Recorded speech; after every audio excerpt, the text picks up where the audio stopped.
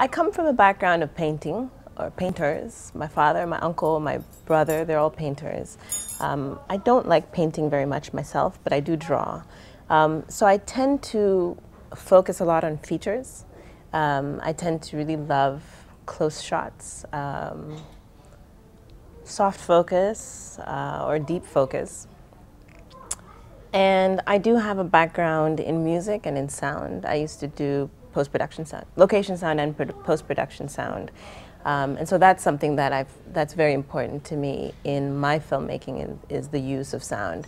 Um, in the film that I have here at the Silicon Valley African Film Festival, Taharuki, um, which is also known as Suspense, I, it's a film that is set in Kenya, but I shot it in Brooklyn. And um, in order to create Kenya in Brooklyn, um, aside from production design, which I had a Kenyan production designer help um, to send us some things that we could use.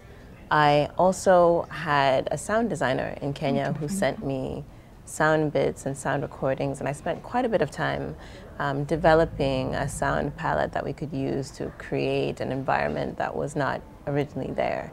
We shot downtown Brooklyn, and we needed it to be a remote area in Kenya during a wartime. Um, so those are things that I think to help define um, the kind of filmmaking that I make, regardless of the story. I mean, things obviously change depending on the story, the, the speed, the pace, the, the mood, the feel, um, maybe even the texture. But those are the things that I tend to carry along with me. Okay. I grew up with a lot of storytelling in, in my life, in my family.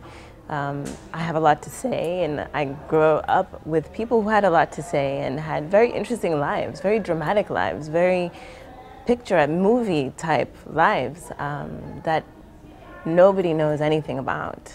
Um, and I think there's something wrong with that. I think there's something wrong with um, only experiencing a country or a continent through the news, through tragedy and strife and animals and white people's experiences, um, there's many, many, many holes that have that are left in that kind of a situation. And so I think that's my work. I, have taken that on as my work. Um, I see that as the work that all of us have to do as filmmakers, as, as artists in general, because we do tell a lot of those stories even with our music, um, with our poetry, with our writing. Um, now there's things like YouTube, which didn't exist when I was a young person getting ready to make films. Um, I mean, YouTube didn't really exist even eight years ago. So, um, but not only to educate, the purpose of my filmmaking at least, and what I see as other people's filmmaking is not for the purpose of educating foreign people, white people, about what our lives are like, um, but being able to reflect on our own lives for ourselves and for each other. Um, one of the things that I love about media, that I love about the internet, about YouTube, about Facebook, about Twitter, is that we're able to see each other. We're able to experience each other. Growing up in Kenya as um, a person with Tanzanian heritage, I would tell my friends stories about what it was like to go to Tanzania, what my home was like, what my cousins were like, my relatives, stories about my family, that they had no idea, they had no frame of reference as to what what that meant. You know, we were foreign, foreign land, and we're hours away across the border. Um, and now, because we have social media, um, because of the movement of hip hop, for example, that's happened in East Africa where we're listening to each other's music and listening to each other's lyrics and hearing people talking about how they love and how they don't love and how they party and whatever it is that they do.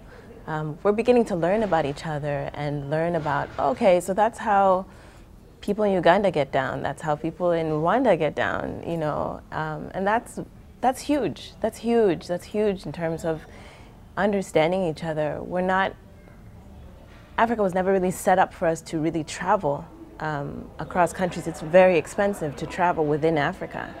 It costs more to travel one hour from Kenya to Tanzania than it is to travel from New York to California. That's it costs four hundred and fifty dollars for a round trip ticket for one hour. You know that's that's ludicrous. but I don't have to physically travel anymore because I can see.